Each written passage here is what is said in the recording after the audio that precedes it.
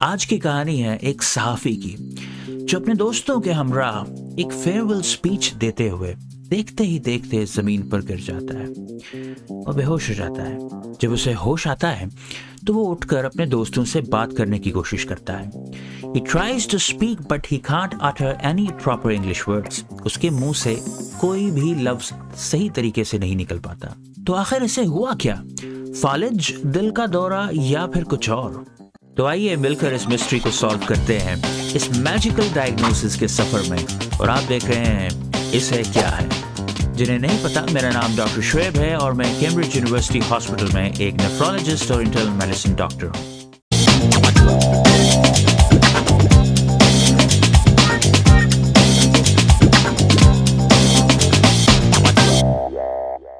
तो आज की इस कहानी का आगाज़ होता है इस जर्नलिस्ट से, जो अपने दोस्तों के हमरा एक फेयरवेल स्पीच की तकरीब में मौजूद था इसी स्पीच के दौरान देखते ही देखते all of a sudden he becomes unconscious और ज़मीन पर गिर जाता है ज़्यादा इंटरेस्टिंग बात यह है कि जैसे इसे होश आता है and he is made to stand up again he completely forgets how to say proper English. उठते ही इसे अंग्रेज़ी बोलना भूल जाती है और उसको समझ नहीं आता कि किस तरह से अपनी बात दूसरों तक कन्वे करे। दूसरों को ये लगता है कि शायद ये पागल हो गया है या इसके सर पर जरा ज़ोर से चोट लगी है।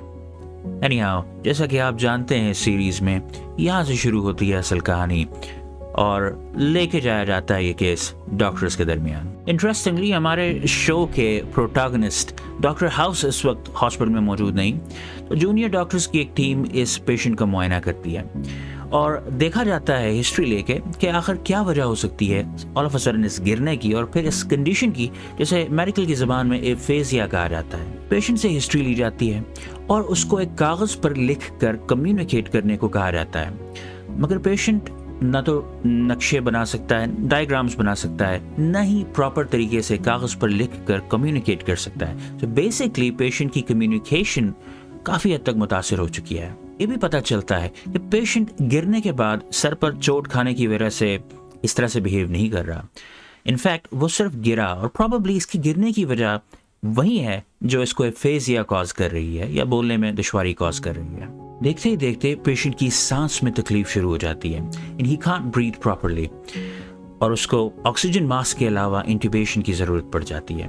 ये अमूमन पेशेंट्स में समटाइम्स पानी भरने की वजह से भी हो सकता है, जो उनके फेफड़ों में भर जाया करता है। इसी असना कुछ डॉक्टर्स रिजल्ट्स लेकर आते हैं, जिसमें पता चलता है कि पेशेंट की ब्लड में एम्फेटामीन्स के लेवल्स ज़्यादा हैं। एम्फेटामीन्स या ममनुआ अद्वियात, जिसने कहा जा सकता है, ये कुछ ऐसी ड्रग्स होती हैं जो काफ़ी हद तक ये सारे सिम्टम्स एक्सप्लेन कर सकती हैं, जो अभी तक हुए हैं। वहाँ कुछ डॉक्टर्स को जूनियर डॉक्टर्स पर इतना भरोसा नहीं होता।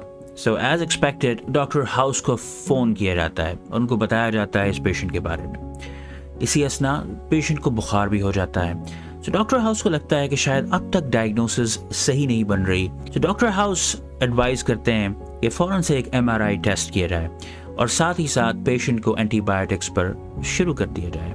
पेशेंट का एमआरआई टेस्ट किया जाता है और एमआरआई रिपोर्ट के अंदर ब्रेन के कुछ सेंटर्स में स्वेलिंग या सोजिश नज़र आती है।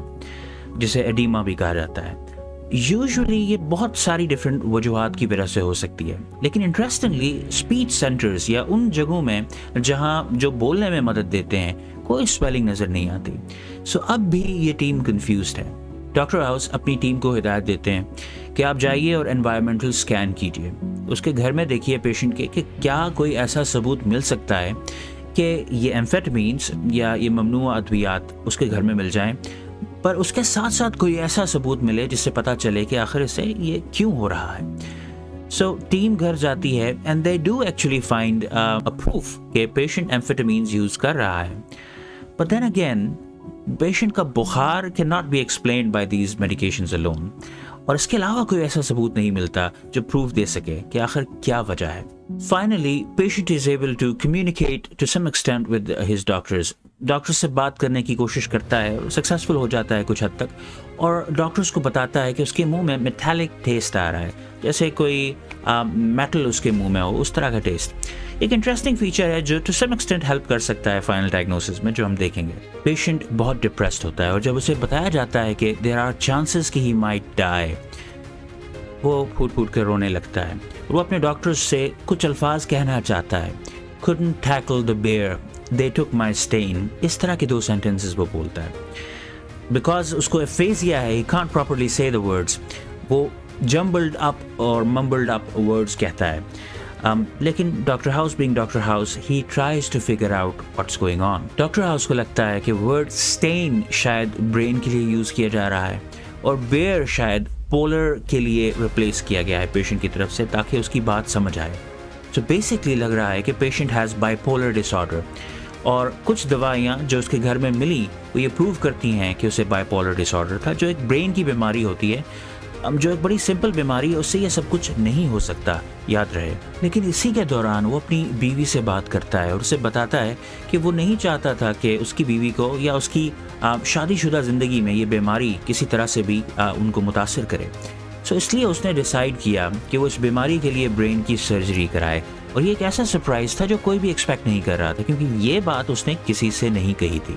और यही है डॉक्टर हाउस का बिंगो मोमेंट क्योंकि सर्जरी के दौरान डॉक्टर हाउस को ये लगता है कि मोस्ट लाइकली इस पेशेंट को एक इन्फेक्शन हुआ होगा। और ड्यूरिंग द सर्जरी इस पेशेंट ने वो इन्फेक्टिंग ऑर्गेनिज्म कॉन्ट्रैक्ट किया होगा। डॉक्टर हाउस को लगता है कि इस पेशेंट को मलेरिया है।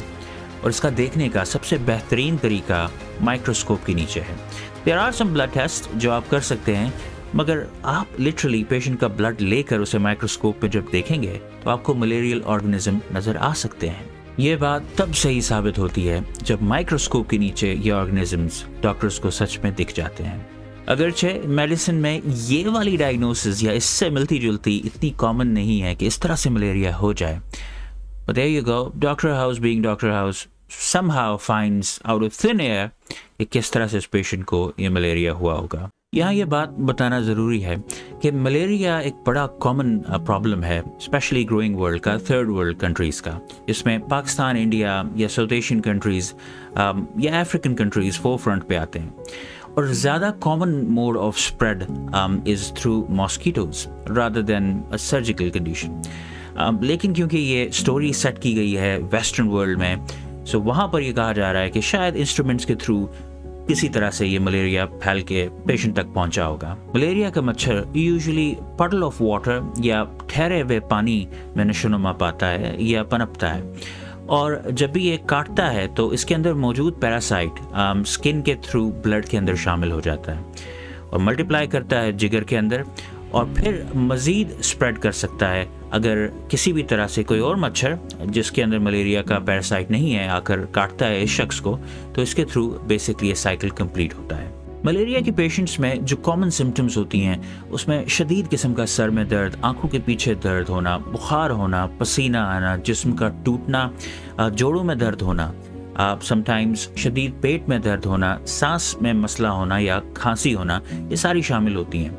सिवियर केसेस के अंदर बाज़ात पेशाब में ब्लड भी आ सकता है और डार्क कलर का पेशाब भी आना शुरू कर देता है, जिसे ब्लैक वाटर फीवर कहा जाता है। लेकिन एक्सट्रीम केसेस के अंदर पखाने में भी खून आ सकता है और पेशेंट को अनीमिया यानी खून की कमी हो सकती है। कुछ पेशेंट्स को सीजर्स या मिर्गी के दौरे, आप जिन्हें आसान अल्फाज में कह सकते हैं, वो भी हो सकते हैं। तो अगर आप किसी ऐसी जगह रहते हैं जहाँ पर मलेरिया प्रीडोमिनेंट है या आसपास आपके हमसायों में किसी को हो रहा है, या आपको भी इस तरह के सिम्टम्स आने शुरू हो गए हैं then I think it's about time कि आप अपने डॉक्टर से रबता कीजिए ताकि आपको बर वक्त दवा शुरू करवा जाए ताकि आपको बर वक्त दवा शुरू करवाई जा सके। हमारी आज की इस कहानी के पेशेंट में भी आपने नोट किया होगा कि उसके बोलने में दिक्कत होना, जिसे एफेजिया कहा जाता है वो एक ब्रेन प्रॉब्लम था जो मलेरियल पैरासाइट की वजह से हो रहा था। और इसके साथ साथ उसकी सांस में तकलीफ़ होना पानी भरने की वजह से था, जो कि इस पेशेंट में अगेन जिसे पल्मरी डीमा कहा जाता है तो कॉमन फीचर अगर मलेरिया एडवांस एडवांस स्टेज पे मौजूद हो। और इसके साथ हमारे इस पेशेंट में बुखार भी था जो कि एक और अलामत है जो मलेरिया के पेशेंट्स में पाई जाती है There you go. Another fantastic diagnosis by Dr. House and uh, I'm sure you would have had of fun. एक चीज़ मैं बताता चलूँ कि हर केस इस तरह से एग्जैक्टली exactly नहीं हुआ करता जिस तरह से दिखाया जाता है टीवी या सीरीज़ के अंदर कुछ चीज़ें वेरी कर सकती हैं। और मोर स्पेसिफिकली ये सारी चीज़ें अमूमन रेयर होती हैं जो जिस तरह से दिखाई गई कॉम्बिनेशन के अंदर, क्योंकि हर एक की प्रॉबिलिटी कम होती है। और इन सब का एक साथ होना उतना ही लेस लाइकली होता है। लेकिन these are T V series और ये बनाई इसलिए जाती हैं कि इंटरेस्ट पैदा किया जा सके। Thank you so much again for joining me अपना और अपने घर वालों का बहुत ख्याल रखिएगा। मैं आपसे फिर मिलूँगा इसी तरह की एक वीडियो के साथ। अल्लाह हाफिज़।